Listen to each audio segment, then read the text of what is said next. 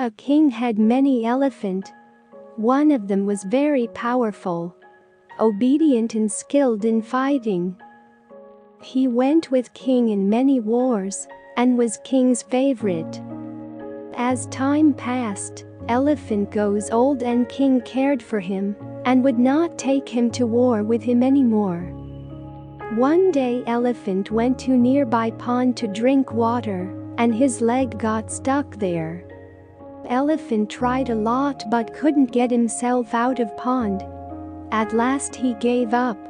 Soon, servant noticed elephant and went toward pond.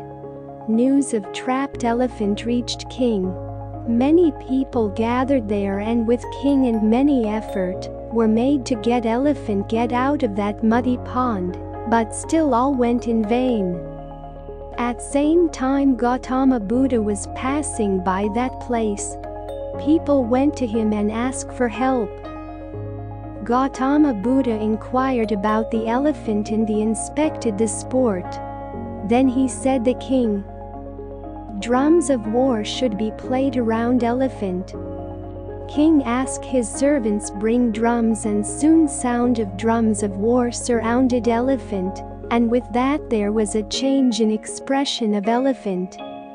He stood up and tried coming out of an muddy pond with enthusiasm by himself, and soon he was out.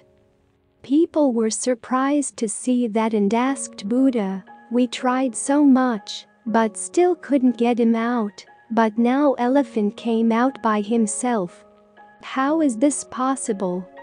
Buddha said, there was no shortage of physical ability, we just needed to motivate him. Because elephant used to go to wars not able to go there anymore, he lost his desire and will. Using drums helped him get his enthusiasm back.